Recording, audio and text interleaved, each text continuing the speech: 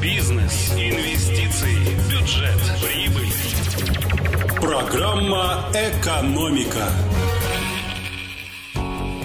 студии Мария Кожевникова. Здравствуйте. Законопроект о выплатах мамам первенцев в Кировской области рассмотрят уже в январе. Документ предполагает, что женщинам, родившим первого ребенка после 1 января 2024 года, будет доплачиваться ежемесячно до средней зарплаты по региону с учетом других пособий, которые они получают. На данный момент сумма средней зарплаты 38 200 рублей. Других пособий на ребенка в среднем по подсчетам каждая женщина получает по 20-25 тысяч в месяц. То есть по прогнозу Минсоцразвития средний уровень доплаты составит 14 700 рублей. На данный момент направить из бюджета на это предполагается 200 миллионов.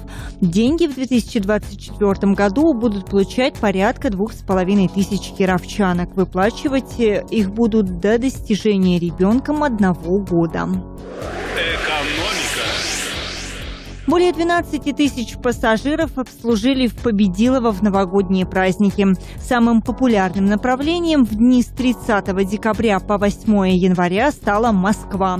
К слову, улететь в столицу вечером 31 числа можно было за 999 рублей.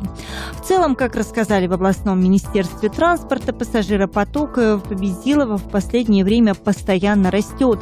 В 2023 году впервые за последние последние 30 лет он превысил отметку в 400 тысяч человек. Сейчас улететь из Кирова можно по пяти направлениям – Москва, Санкт-Петербург, Сочи, Казань, Нарьян-Мар. В 2024 году добавится еще четыре новых направления. В эфире «Экономика». Киров оказался на первом месте в стране по росту цен на аренду жилья.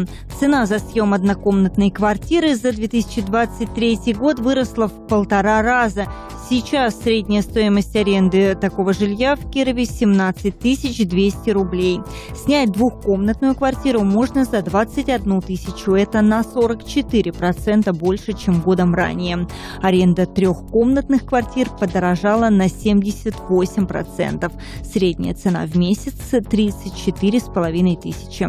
При этом в среднем по стране за год ставки на однокомнатные квартиры поднялись на 22%, на двухкомнатные на 19, на трехкомнатные на 15, отмечают аналитики портала «Мир квартир».